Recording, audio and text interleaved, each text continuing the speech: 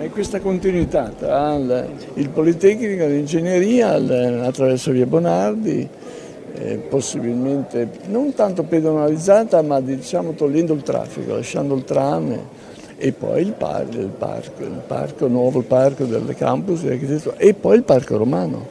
Sono quali le correzioni che lei suggeriva? Perché ho sentito che nel cantiere lei ha suggerito... C'è una connessione da creare di continuità perché sono due zone verdi, sono tre zone verdi straordinarie e sono tre zone pubbliche, quindi bisogna riuscire a creare questa continuità.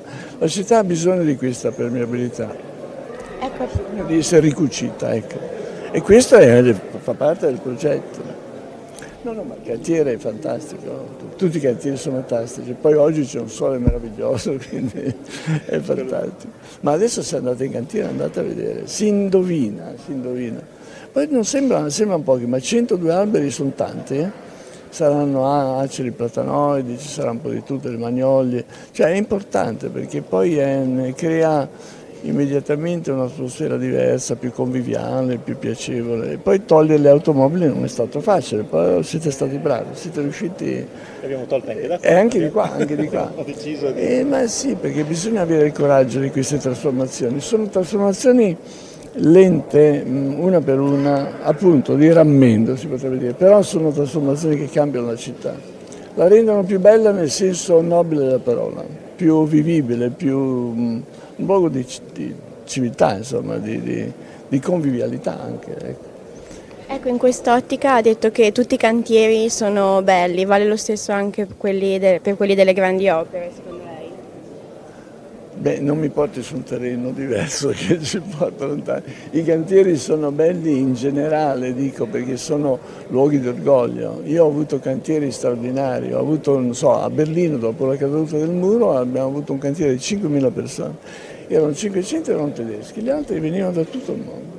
Ebbene, in un luogo che in fondo fu teatro della più terribile intolleranza della storia moderna, il Berlino, eh, Mitte, eh, eh, beh, è diventato un luogo di tolleranza, cioè le differenze, le diversità in un cantiere spariscono. Cioè diventa, prevale la solidarietà e l'orgoglio, una cosa molto importante, l'orgoglio di fare qualcosa assieme. Insomma, è per questo i cantieri sono luoghi magici, hanno, portano, portano solidarietà e sono anche luoghi di pace nel senso bello della parola, insomma, luoghi di, di, di, di solidarietà. In contropendenza quindi, con la... Ma in contropendenza non lo so, non in giro per il mondo direi, ma anche l'Italia, non bisogna poi esagerare, dai, le cose si fanno anche nel nostro paese, questa non è una prova, è una prova. Comunque i cantieri, la mia è un'osservazione pressoché romantica, i cantieri sono luoghi fantastici, meravigliosi, sono luoghi di speranza, c'è sempre qualcosa di magico, è il futuro, il cantiere è il futuro, è una promessa di una vita migliore, qualcosa di questo genere.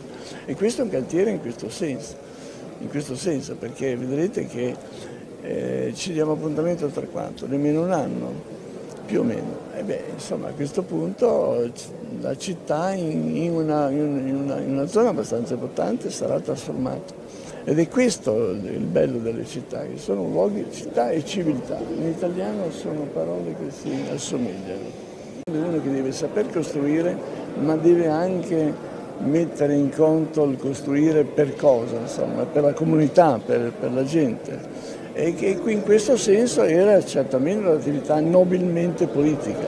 Questo è un progetto importante, in, anche in senso politico, nel senso bello della parola, no? nel senso di polis, città politica come polis.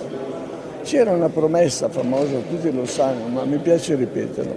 I neoletti ateniesi facevano una promessa, facevano un discorso più breve della storia dicevano vi prometto ateniesi di restituirvi Atene più bella di come me l'avete consegnata. Fine.